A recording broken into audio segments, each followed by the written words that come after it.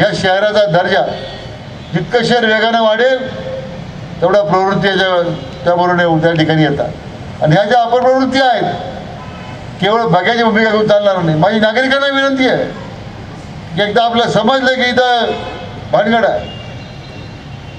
ताबडतोब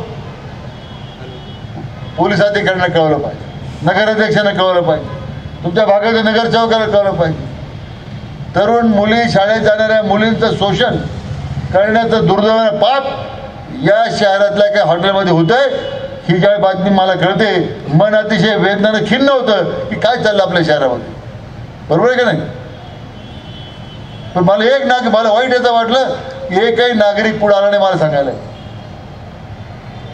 फोटो काढायचे त्यांना भुलवायचं पैसे आम्हीच दाखवायचं. अशी जी नरदम आहेत त्याला खड्यासारख्या वेचून बाजूला फेकलं पाहिजे ते काम तुम्हाला आम्हाला उद्या सगळ्यांना करायचे अजिबात या प्रश्नामध्ये तडजोडच नाही. तुमचा सक्का असला तरी हरकत नाही. म्हणजे शहराच्या नावाला पट्टा लागेल आणि आमच्या माता भगिनींना कुठेतरी त्या ठिकाणी खाली पाहायला लागेल आमच्या मुलींना त्या ठिकाणी सुरक्षित फिरता येणार नाही असं कोणी वातावरण तयार करत असेल त्यांना या शिर्डीमध्ये जागा नाही. त्यांना शिर्डीमध्ये थारा नाही.